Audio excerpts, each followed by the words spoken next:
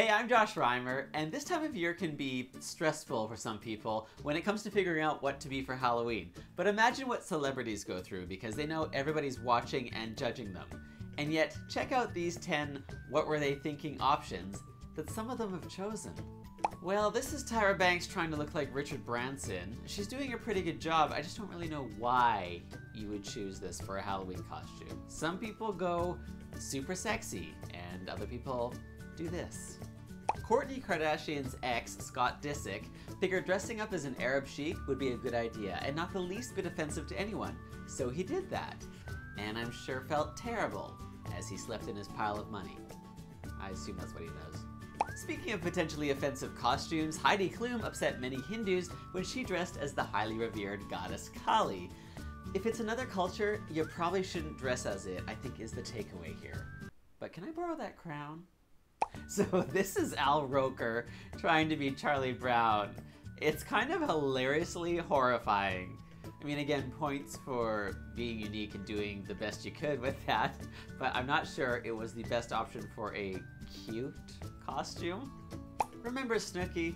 She was never really known for being a classy chick, but when she dressed up as a missing child costume, it kind of seemed like she had reached a new low, which might have been the goal, honestly. She kind of made a career out of that sort of thing. If there's one thing that shouldn't be sexy, it's probably a baby, but that didn't stop supermodel Stella Maxwell from doing it and making a lot of people feel very uncomfortable. Just a bib and a diaper, and a big pacifier shoved in her mouth. And let's not forget that time that Prince Harry dressed up as a Nazi. Like, hello? The average person knows not to dress as that, so why wouldn't somebody who's part of the royal elite who's constantly scrutinized? Way to rebel, I guess. Everybody knows that you don't put on blackface for a costume anymore, but Julianne Hough was surprised at the backlash after she did it to be Crazy Eyes from Orange is the New Black.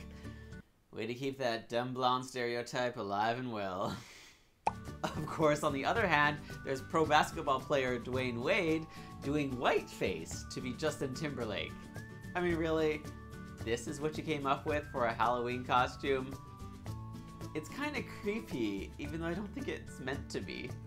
And finally, Ashley Benson from Pretty Little Liars shared this picture on Instagram, dressed up as Cecil the Lion, shortly after the internet's outrage of him being killed.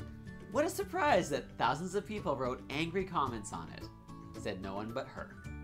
Thanks for watching and connect with me on your favorite social media for more fun stuff. Links to all of my accounts are at joshrimer.com. Bye!